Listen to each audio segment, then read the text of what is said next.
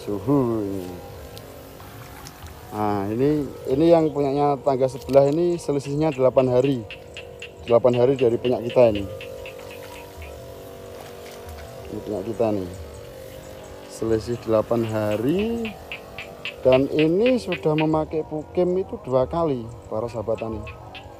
Yang kita lihat itu kita pantau itu tunasnya. Nah, seperti ini.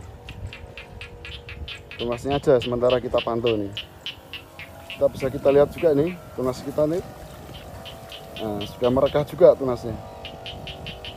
Mudah-mudahan habis penyemprotan pertama ini ini penyemprotan daunnya ini ya penyemprotan daun karena kita memakai 50 mili dari air biangan mustika tani dicampur dengan 15 liter air untuk penyemprotan daun beda lagi kalau untuk pengolahan lahan ke tanah itu 100 mili per 15 liter.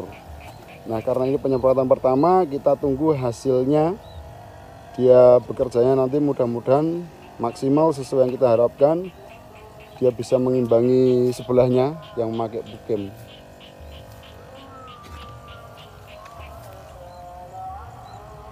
nah itu yang agak merah-merah itu nggak apa-apa itu yang penting tunasnya dia tetap bertumbuh nanti dia berganti daun itu. Oke para sahabat petani semuanya sementara sampai di sini dulu video kita kali ini. Di lahan yang kedua ini nanti kita tetap pantau terus. Yang sudah tetap pantau terus monitor terus tuh.